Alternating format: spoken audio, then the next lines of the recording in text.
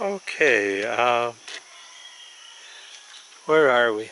Uh, we're on autofocus, and it is autofocusing, hopefully. This is just uh, one of the beautiful lilies we have in our garden. I don't know that I can get a focus on it manually, so I'll just do this little short video to show you what we, uh, some of the flowers we have. That's it for this one. Bye-bye.